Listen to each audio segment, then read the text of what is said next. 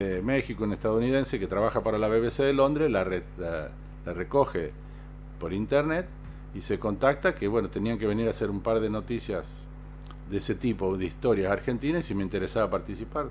Y sí, por supuesto, en junio del año pasado yo lo recibí acá Mortero, estuvo todo el día, como 6, 7 horas, no sé, hablando, llevó gente, participaron y quedó, se llevó todo ese material. Después yo nunca sabía si lo iba a poner, si, y él me decía que bueno, que, tenía que, esperar su turno. Y en diciembre, justo el día de mi cumpleaños, el 27 de diciembre, la publicó.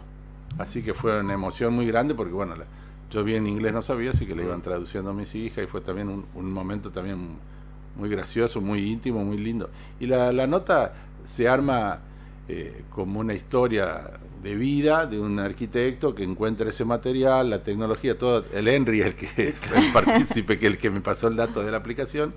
Y interesante porque termina diciendo, bueno, y hoy es eh, nombrado director de cultura de su pueblo.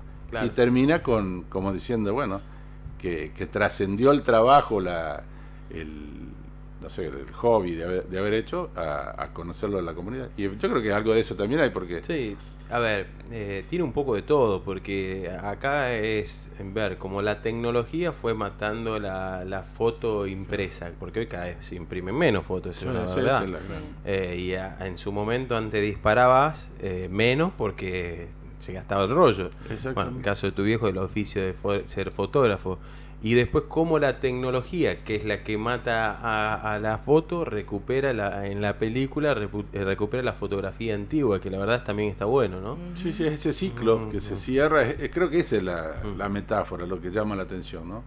Algo que, en su momento vino para terminarlo, y bueno, y después eh, lo mismo, esa misma tecnología aplicada de otra forma, lo recupera y lo pone otra vez al alcance de la gente. Mm. ¿Te tenían fe algunos familiares cuando empezaste con eso o no? No, no, no lo veían, no nadie casi, ni familiares ni amigos lo veían como si fuese ¿Qué hace este loco? bien, claro, Dios todavía ahora lo piensa, pero bueno, a mí me parece que es que para muchas eh, la anécdota que cuento siempre, pongo una maestra muy conocida de Mortero yo solo un hijo, dos hijos tiene. Voy al primero, le cuento, che, puse a tu mamá. Ah, bueno, qué bueno, ¿dónde está?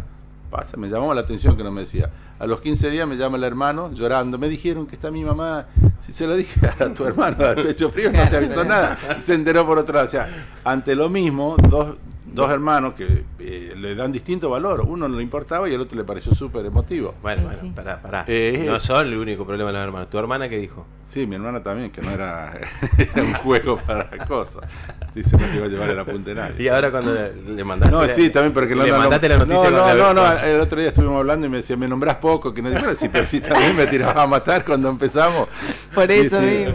Bueno, pero que cuando aparecieron las primeras imágenes en el Instagram, por ejemplo, había muy pocos seguidores y yo me acuerdo, me acuerdo patente en, en, una, en un asado de amigos que alguien dijo, ¿viste la foto que subieron? Yo no soy de acá, ¿no? Pero igualmente intentaba buscar algún referente y bueno, y después con el tiempo se fueron sumando referentes y distintos rubros. El, hecho sale como una, eh, como una, no digo una broma, sino como una curiosidad, poniendo gente bien conocida y dándole un toque humorístico. Y siempre cuento lo mismo.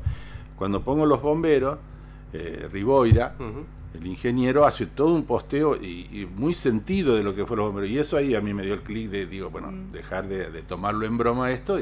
Y acá hay, eh, hay gente que lo va a tomar en serio. Y, y, ese fue un poco el cambio que le dio como más seriedad.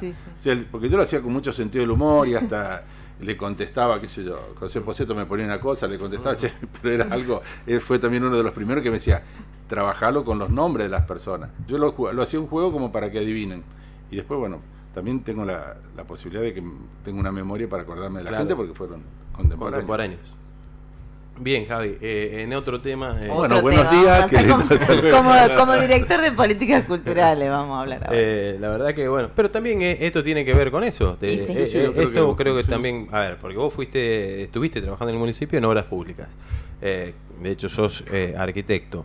Eh, pero creo que un poco esto y, tu interés por la cultura, la lectura, participás en la biblioteca, eh, te lleva también a, tener este, este cariño por, por la